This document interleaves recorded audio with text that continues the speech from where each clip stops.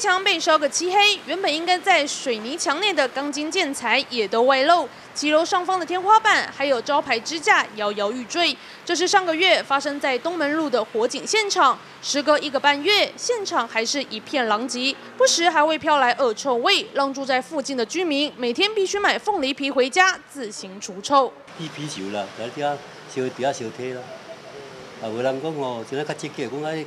这这遮久啊，已经点个外尾啊，大家大家都鼻子来味啦。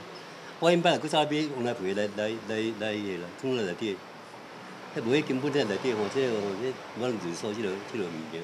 对公部门互踢皮球，居民表示相当无奈。而当地里长与环保局表示，市场土地属于多名地主共有，必须先找出地主进行沟通，才能决定后续处理。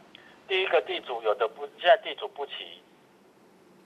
没有齐全，然后有的人他不愿意自己亲，他说肇事者你要给我们亲啊，啊可是现在肇事者有联络到他，可是他跟他讲以后，哎现在要他回我电话，他都打电话都没人接了。那个地主是好几个，那看他们怎么去协调嘛。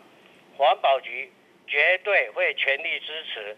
如果决定要叫我们清，我们还是会去清。只是现场他的他，破的破，不时又传来焦臭味，不仅对环境卫生造成影响，公部门如果再不积极处理，如果不幸发生意外，恐又会造成灾害。记者冯一奇宏在亭台报道。